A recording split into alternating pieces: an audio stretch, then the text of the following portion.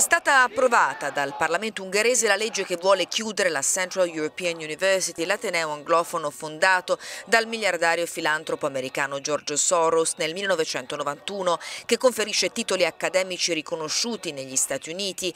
Il presidente della Repubblica ungherese Giano Sader, che ha firmato il provvedimento, ha assicurato che la nuova norma che regola le università straniere in Ungheria non interferisce con le libertà accademiche. Non è servito quindi il corteo che ha sfilato manifestato nei giorni scorsi a Budapest per difendere la chiusura dell'Ateneo e per chiedere al capo dello Stato di non promulgare la legge.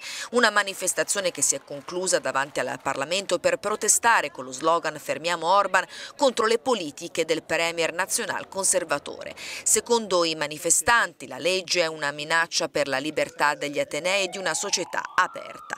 La nuova misura impone alle università finanziate da paesi non appartenenti all'Unione Europea non solo nuovi vincoli ma anche di stipulare un accordo tra il governo del paese d'origine e quello ungherese.